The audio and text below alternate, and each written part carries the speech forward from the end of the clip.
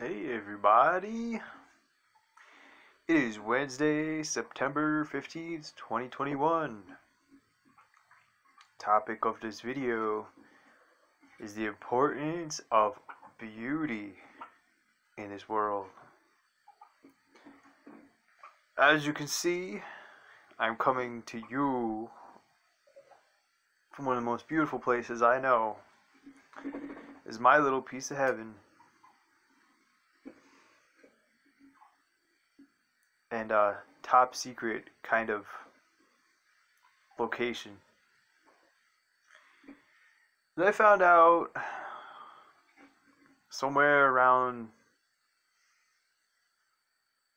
early 2019 or 2020, all this drama going on in the world. It is much easier to kind of show people what you've been up to as opposed to um, trying to make a video as you do it you know? Like say for example this little area right here is something I've been working on and had some help. But it's better to show the whole thing afterward, they'd be like, okay, this is it in progress, yeah, yeah, yeah. Because, you know, you just get more stuff done. So I've got a lot going on, and I haven't been showing you all that.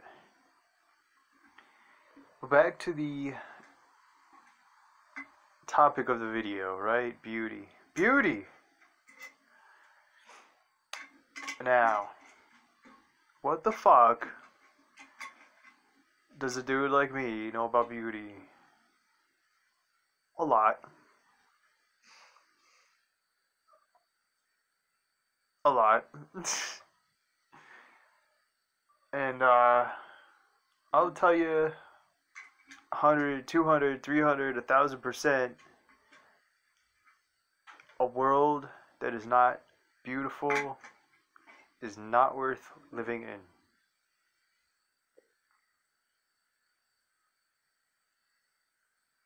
Think about that. A world without beauty is not worth living in.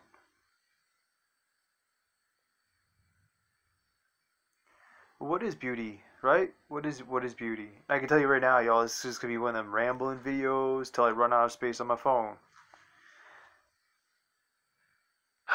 what is beauty? Well, they say beauty is in the eye of the beholder. You know, what I think is beautiful, you may not find so beautiful. That's really because you got bad taste, but so they say.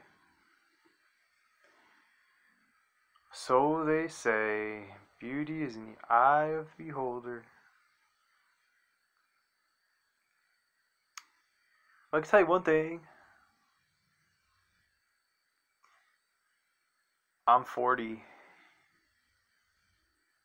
And if you're younger than me, like say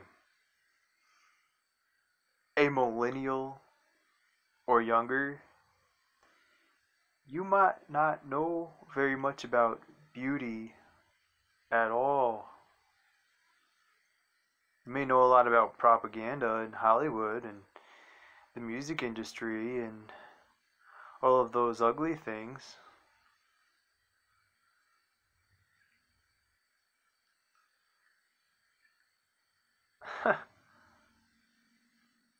what do you know about beauty?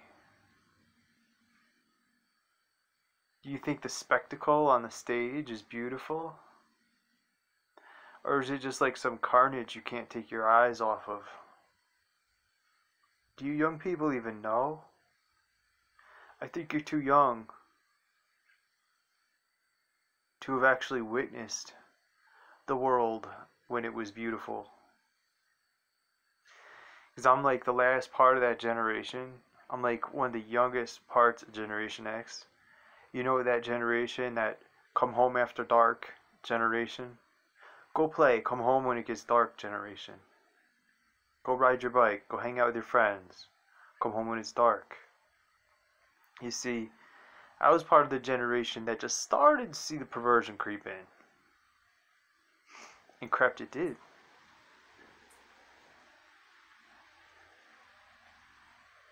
Crept it did. And now, shootings every day. Abductions, murders, missing peoples, rapes, throwing acid on faces.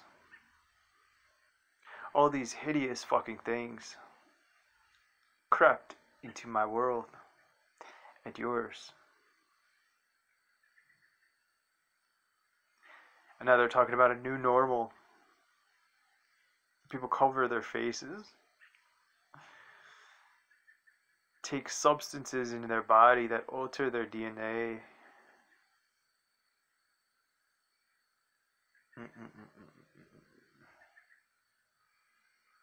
That's some ugly stuff, but you wouldn't know it, right, if you did never see that other, that old world. You know, those old people that all got sent to nursing homes and neglected and died, and then the whole shut down, and more of them died, and that old world that those old people made, I grew up in. You know, those old guys and old gals out there landscaping their yard, keeping it nice, making sure the bees were about, the butterflies and the hummingbirds and the birds in general, and you know, it wasn't all grass and bullshit. You know? A world without beauty isn't worth living in.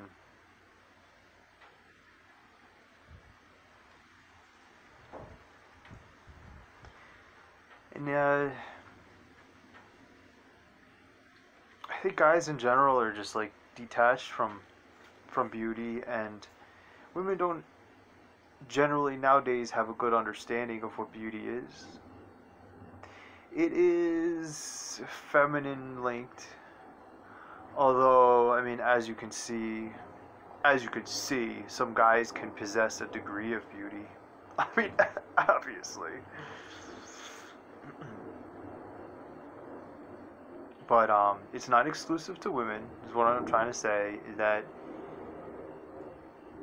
men it's like this when they break the sexes apart, like in high school, and they're like, "All right, you guys are all gonna play football and all this shit, and you girls are gonna cheerlead and whatever." It like keeps us from, I guess, developing an understanding of the other part of society, like I, I see a really disgusting habit of, of like buddy fuckery among men. It's just like guys always trying to one up each other. it's so hideous. Is that I, I was uh, pretty much raised by um, my mother, who had to basically be a mother and a father figure to me both because, well,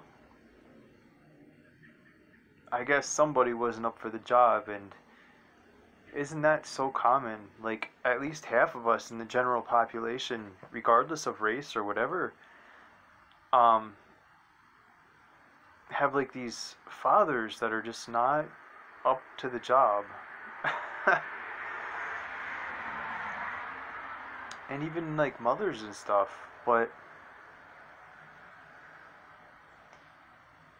The, ren, the men run amok when the women aren't strong.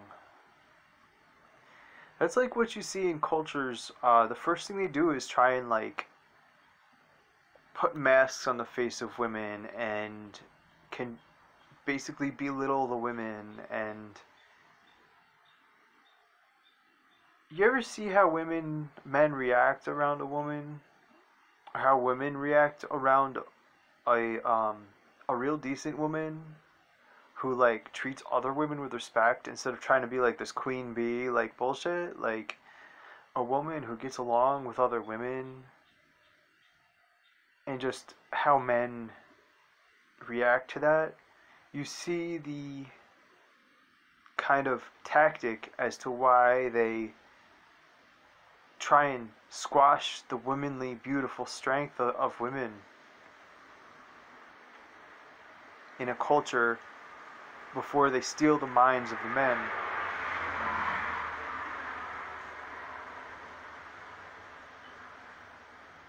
It's so important. I mean, if you think that this is all Big Bang evolutionary fucking chance, you're just a retard. Point blank, period. This was created. You know, every, every plant has its own time to bloom and characteristics of what type of environment it thrives in and what fruits it produces. And someone made it that way. Someone created it that way.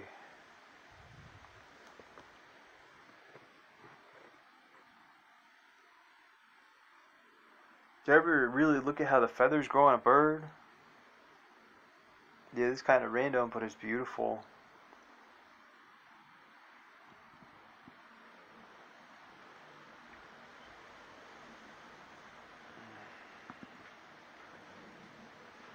The wind blows just so gentle. And they say a storm is coming today. And how can you hate the rain? These people that don't like when it rains. No water, no life.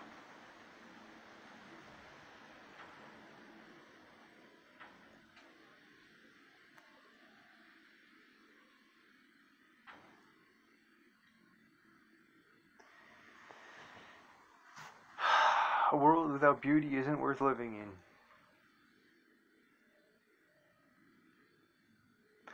Sometimes I get real dark in my mind to dark places and I cease to see the beauty because I'm blinded by my own thoughts and paranoia. And I go to a very dark place.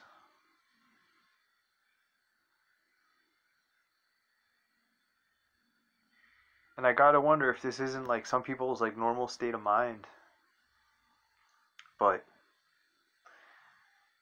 I was in that place recently, and uh, fortunately, the mothership came home for a while and helped me out.